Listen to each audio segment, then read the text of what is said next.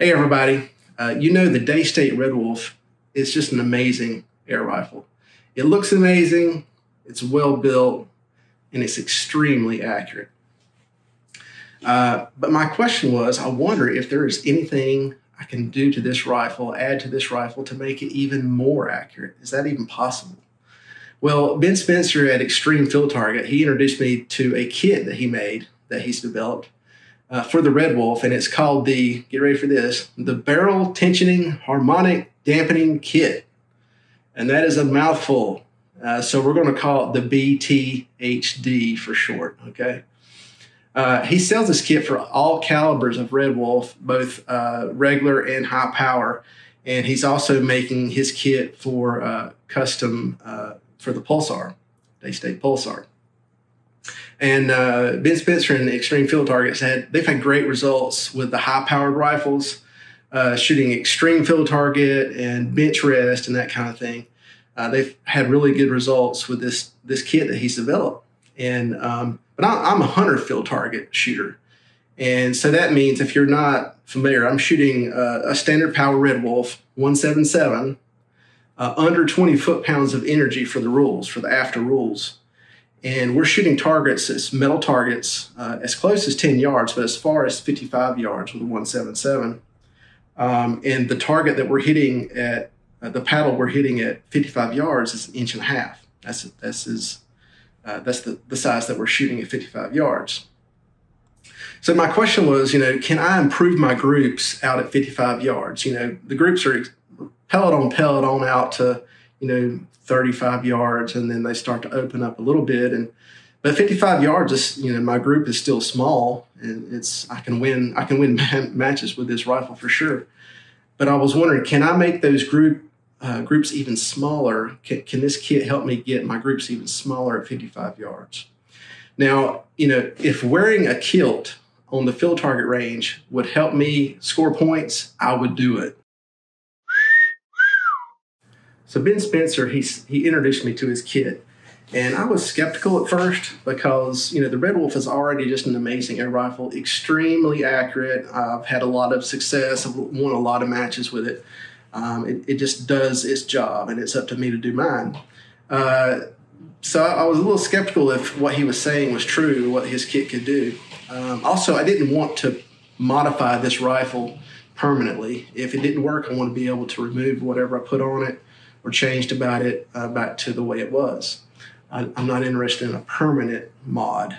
Um, so he sent me his prototype of his kit, and it was a prototype, and it was actually a partial kit because uh, there's three parts to his kit, and I'll show you those parts here in a minute. Um, but what I received was probably the most important part, uh, and that's the barrel tensioner. And to install that, all I had to do was take off um, the shroud, install the tube over the barrel, put the shroud back on.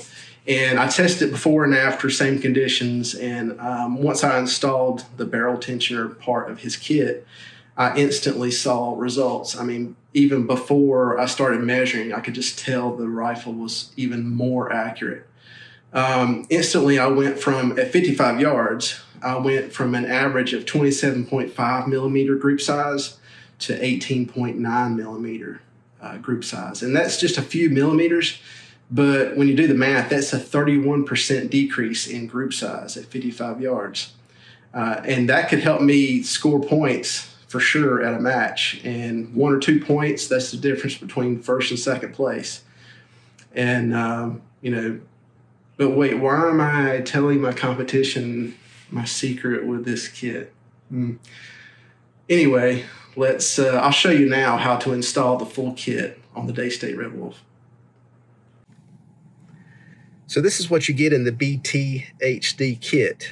And there's a few pieces here. First is for barrel tensioning.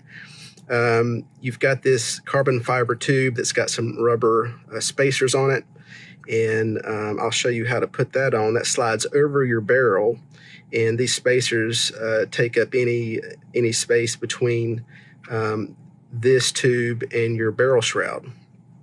It works with this spring uh, tensioner, and I'll show you how it slides on. And what it does, it just creates uh, a little more tension and stiffening to your barrel. And so that's that. And then you've got uh, these barrel shims, and this this is brass. This is a sheet of brass, very thin, uh, almost the thickness of like some really thick, really thick aluminum foil, but it's brass.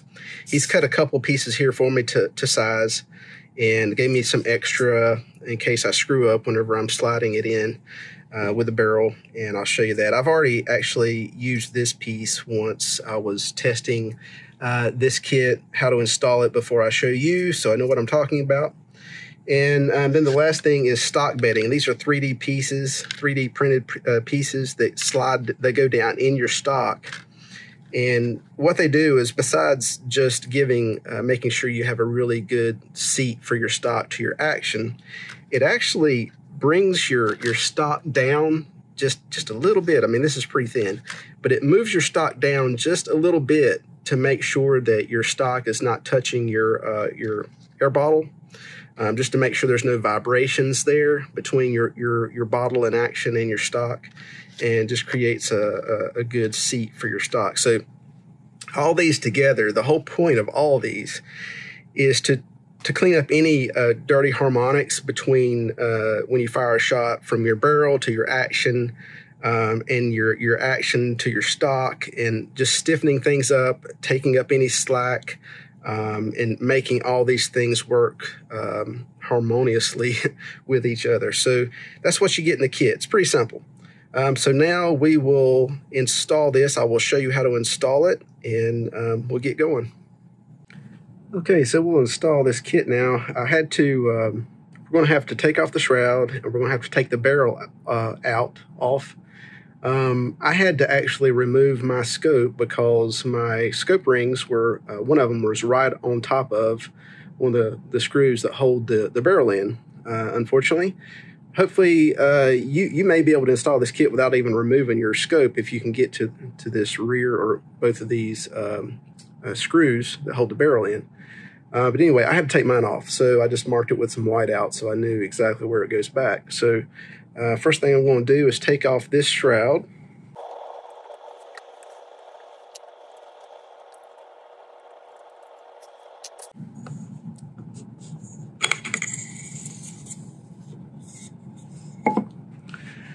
All right, next I'm going to take off um, the stripper here. And to do that, all you need to do is use a, a big Allen wrench or key or um, screwdriver or something and just stick in here and it'll it'll pop right off. There you go. Took that off.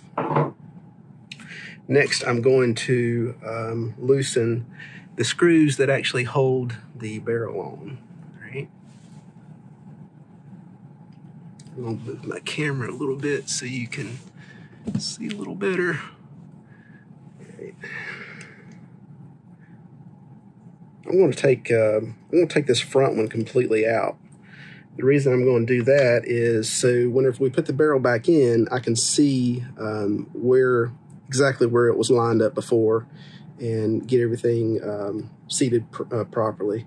I'm just going to loosen this back one. I could take it out, but there's really not much reason to. All right, so we've got that.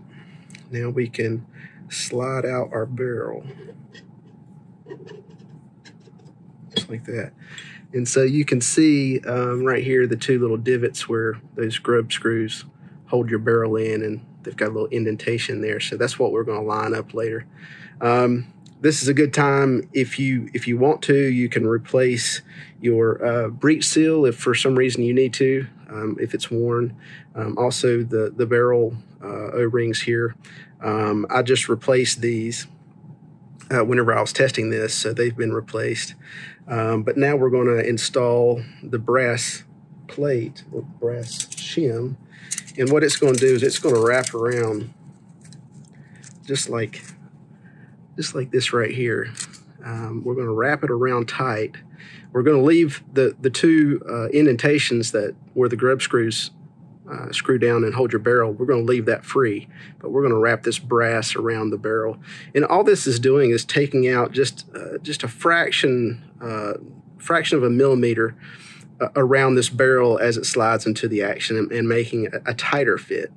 Um, one thing, and let me let me go ahead and mention this: if if you're going to remove these uh, O-rings on your barrel, the best thing to do to get them out, um, it, you can kind of pinch them and see how it kind of it kind of pooches up, and then you can stick a needle in that gap and get them out without damaging them. So um, what I'm going to do now is I'm actually going to put some um, some silicone grease on here so it's kind of sticky and put my brass shim on here and I'm actually going to use one of the old O-rings that came off of this barrel to help hold that brass shim on as I slide it in. Okay, so we're going to do that now. So you can see I've got the brass wrapped around the uh, barrel. I'm going to hold it tighter than this, but I've got that old O-ring on there to kind of help hold it together for me. And I'm going to put a little more grease on the outside of this. All right, so now I'm going to do my best to hold this tight and slide it into the action. And I'm going to try not to crinkle or crimp this brass sheet. And I hope I hope I'll be able to get it in there. I kind of bent this edge here a little bit, but we'll see what happens.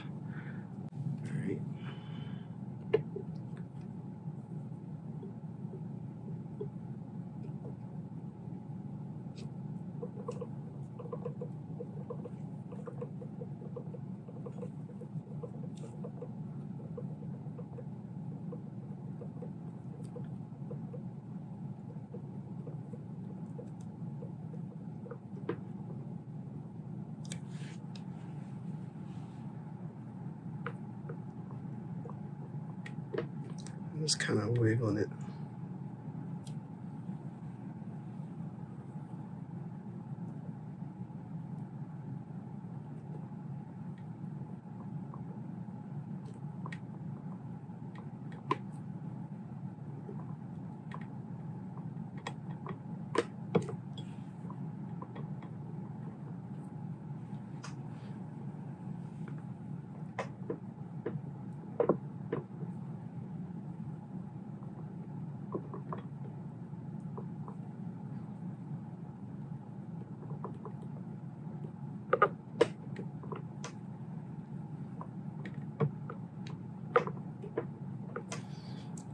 I'm here toward the end. I'm going to cut off that um, old O-ring. I probably could leave it on there, but just to make sure, I'm going to cut it off.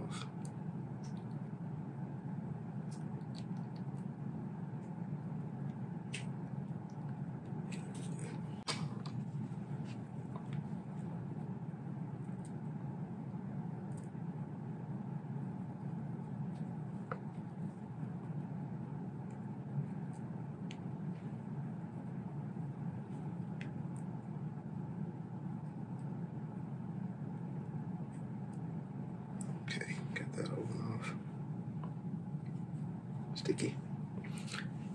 All right, now I'm going to finish sliding this in.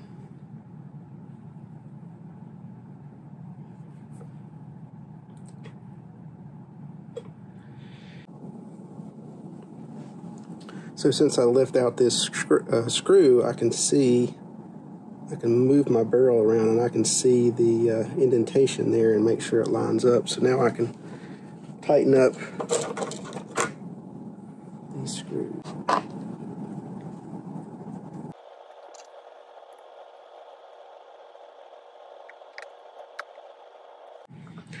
Okay, so now my barrel is mounted back in the action and next we're going to put on the barrel tensioner. Um, okay, this is the barrel tensioner. We're going to first put on the spring We'll slide the spring on that. Then we're going to slide carbon fiber tube on like so. And as we put the air stripper back on, what it's going to do is, is compress this spring and give it tension. And um, so I'm going to put that on now. slide this so you can see.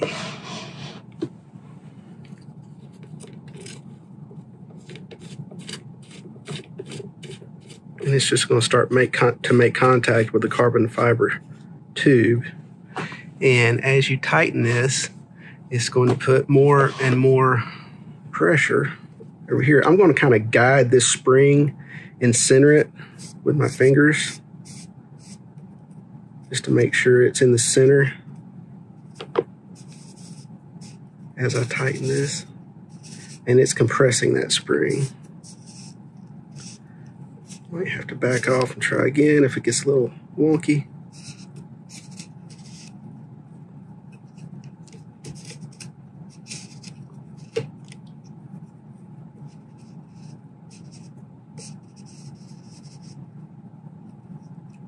Okay, that's pretty close.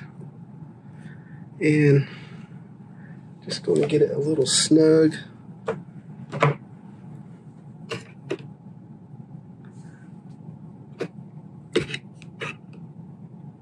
Okay, so that is on. Now I can put my shroud back on. Put a little grease on this.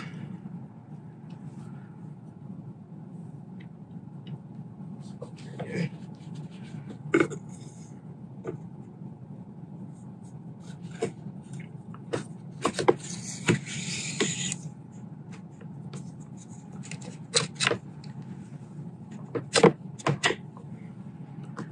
And tighten up these screws.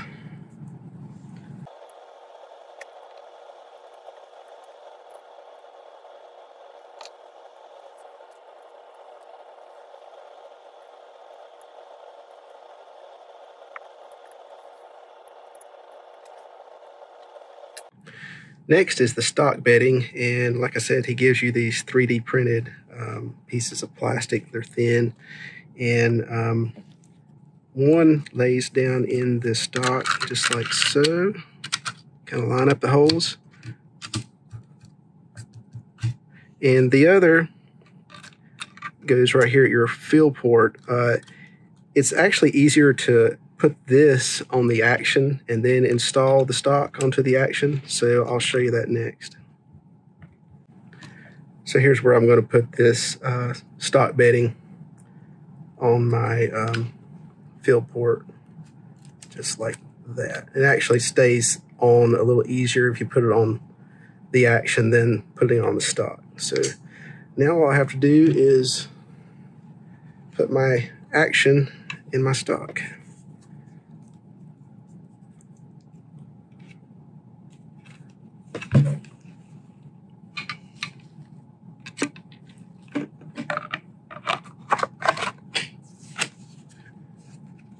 Okay. And tighten my bolt.